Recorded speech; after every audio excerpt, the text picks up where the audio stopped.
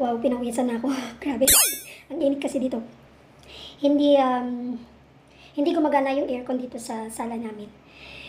Uh, anyway, guys, uh, ngayong araw maggagawa ako ng Yan guys, ang mga ingredients para sa aking bread pudding. Pangit.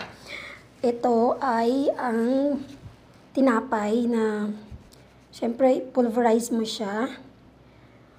Kahit siguro anong klaseng tinapay, bali ano na to eh, ah, tirang tinapay, hindi to bagong tinapay. Sa muli bali ang gagamitin ko, hindi yung slice slice bread. Pwede naman gamitin yung slice bread, bali isang packet nun, isang packet ng slice bread or isang packet ng samuli.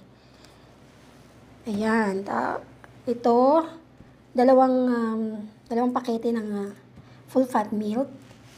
Meron akong uh, evap Siyempre, kailangan natin ng baking powder at saka baking soda. Sukal, siyempre. Tapos, uh, sunflower oil or any kind of oil. Then, siyempre, huwag kalimutan, kalimutan ng itlog.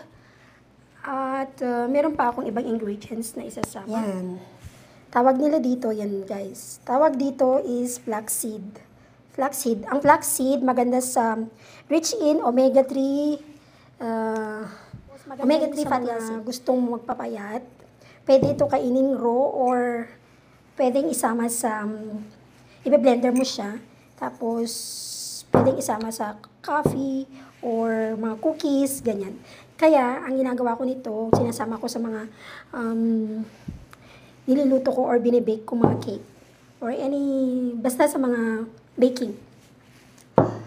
At yan, ang, at my cheese, ang klase ng cheese na to, curry cheese. Yan. Masarap na klase ng cheese. Pwede ding gawin, uh, pwede ding gumawa ng, um, pwede din yung ano, triangle cheese pala. So, yan. Yan ang tsura ng, ng, ng curry cheese. Panghalo lang natin. Ayan, ganito siya. Wait lang guys. Ayan, yan ang curry cheese. Then, pasas dito. So, isasama ko rin siya. Maraming, marami ng ingredients. Okay, mga beshies, kumare. Sabi nila na ganun. Sabay ganun eh. Let's start the mixing. Yan o, oh, liit ng aking mixing bowl pala to. Sorry. Wala naman sa isip. Ganito pala ang feeling ng may TV show. So, unahin muna natin ang dry ingredients sa mix. 1 cup na 1 cup sugar. Ayan. Hinati ko ang mix ang um, kasi maliit itong ano ko eh, mixing bowl. Oh. So, yan. 1 cup sugar.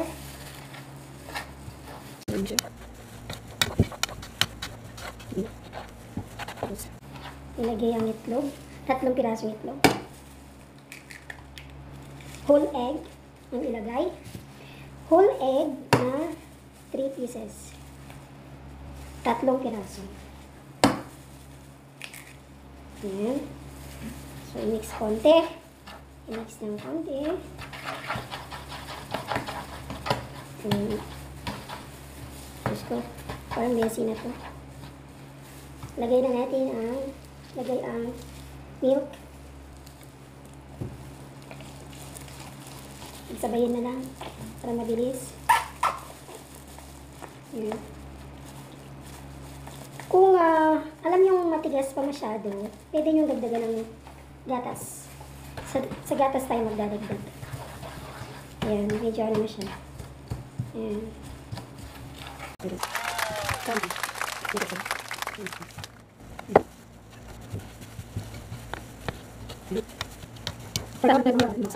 Ayan. Ito is one-third. So, one-third. Pagdagan natin siguro two-third. Two-third na lang. Ng evap milk. Ayan. Two-third ng evap milk.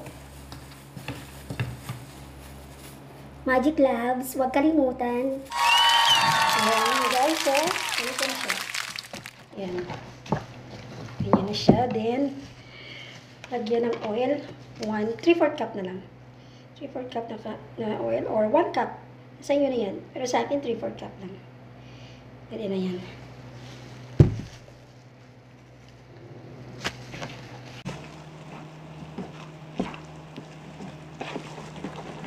Mhm. Mix. Ang kinaganda nito guys, hindi na kailangan ang uh, yung machine, yung mixer na machine. Yan, ito yung, yung hand lang. Hand, hand mixer. And next, ang init.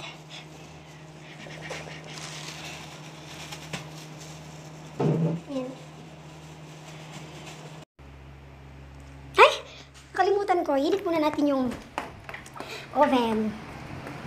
So guys, yan. Mm, Init ko na. Init, init. Init, init. Bibake na natin for 45 minutes or like 1 hour.